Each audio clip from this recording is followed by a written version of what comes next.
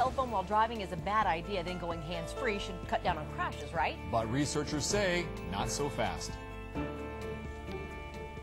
It is illegal in Washington state to drive and talk on a cell phone without a hands-free device. Lawmakers believe, and research showed, cell phones distract drivers. But now, actual statistics show that might not be true.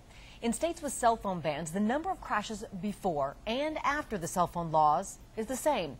The number of crashes did not go down. KXLY4's McKay Allen live on North Division tonight. And McKay, a lot of people are surprised by this.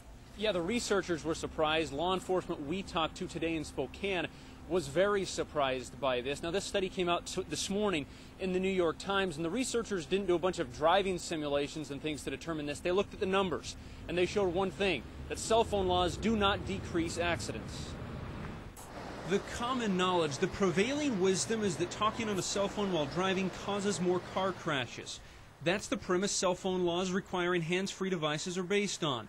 But new numbers, actual statistical data, shows the common knowledge, the prevailing wisdom, is just plain wrong.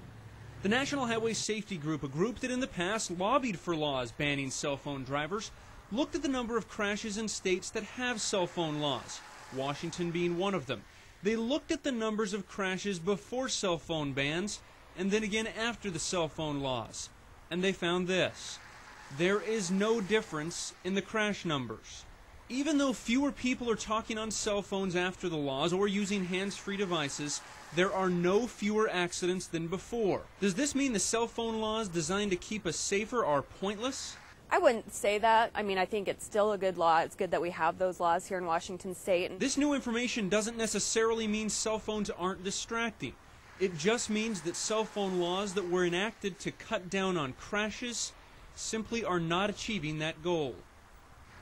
Now, keep in mind there is a bill in the Washington legislature right now that would make talking on a cell phone while driving a primary offense rather than a secondary offense. There's also a proposed ordinance in Coeur d'Alene that would make talking on a cell phone illegal while you drive over there. But again, the, the numbers show, not research, but numbers, actual stats, show that these laws are having no effect whatsoever on the accidents themselves.